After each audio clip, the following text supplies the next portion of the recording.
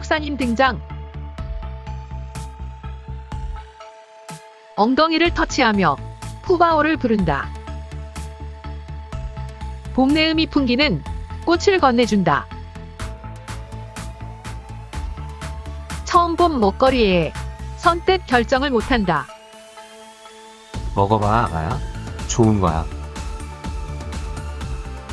새로운 계절 먹이를 어떻게 설명해주지?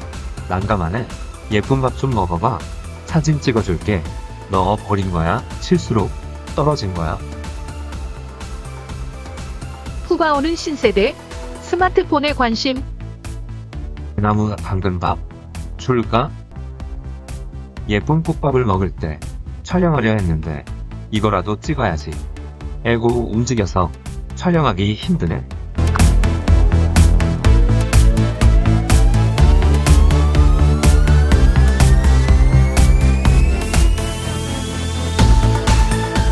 빠러바오 뭔가 바빠 보인다.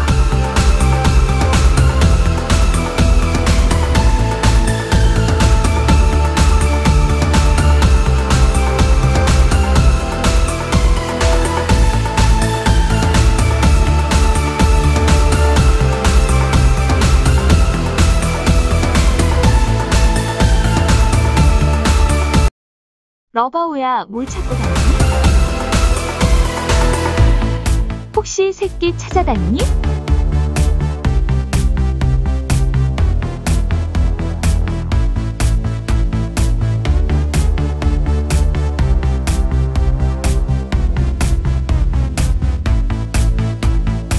발바닥 땀나게 다녀서 거시기가 근질근질하다.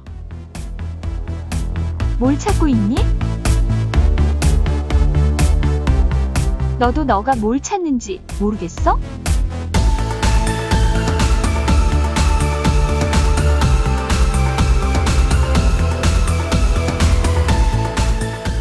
울 애기 푸바오 어디에 있기에 안 보이지?